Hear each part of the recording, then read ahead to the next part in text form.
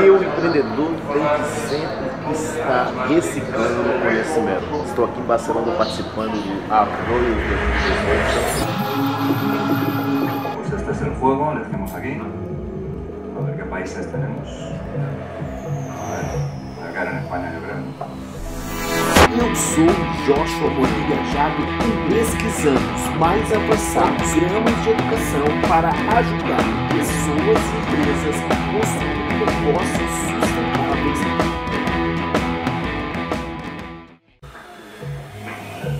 na era pós-digital, ou seja, nos dias atuais, a principal força das microempresas é, sem dúvida nenhuma, uma comunicação efetiva. O empreendedor que sair na frente das mais novas técnicas para comunicar com seus clientes, com certeza vai virar o jogo.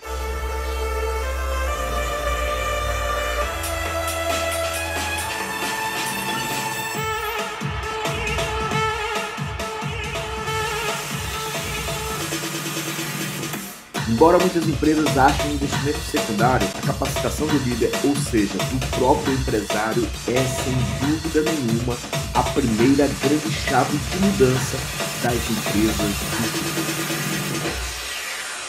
Eu sou Jorge Moreira, estou aqui em Barcelona participando do Arroios 2018 e nós estamos aqui durante o dia todo um fórum sobre o debate entre a televisão tradicional, a indústria da televisão, os diversos canais de língua latina e o advento da nova mídia online chamada internet. Alguns anos atrás, quem tivesse dinheiro para fazer propaganda na TV já poderia se considerar um sucesso na garantia da venda dos seus produtos. Hoje, na era da comunicação, muitos se divulgam, mas poucos se conectam. Ou seja, a nova forma de vender para o cliente ideal envolve estratégias muito mais baratas, porém devem ser extremamente bem articuladas com as novas mídias, redes sociais, aplicativos, portais e diversas outras plataformas de engajamento da sua clientela ideal. Então, se você ainda não percebeu, a internet se tornou uma das mídias mais poderosas e para vida. Exatamente por isso que vários empreendedores estão aqui o dia todo estudando, conhecendo, debatendo, conhecendo novas formações para entender por que é necessário mudança.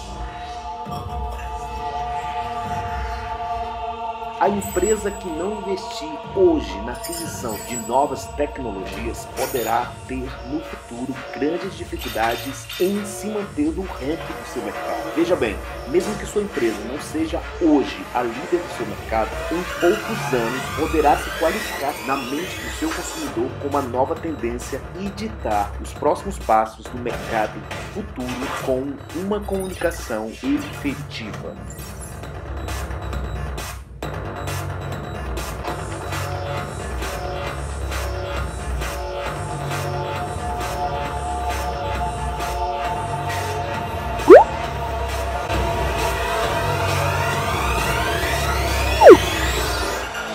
Fútbol desde que tengo cinco años.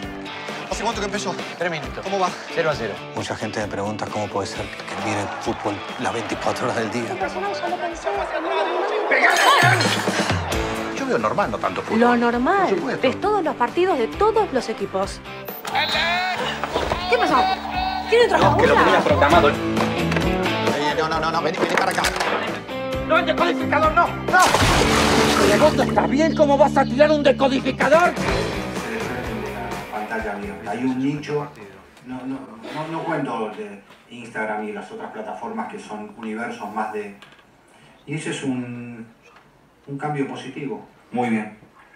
Muy bien, es un, es un modelo donde Flow tiene, nosotros hacemos a lo mejor miniseries de 12, 13 capítulos. Por que é necessária a mudança? Por que é necessário realmente se preparar para uma nova geração que chega. Isso justamente porque as pessoas mudam, uma nova cultura está sendo implantada e nessa nova cultura sendo implantada, com certeza as pessoas, o consumidor final, ele tem uma nova forma de ver, desejar e comprar.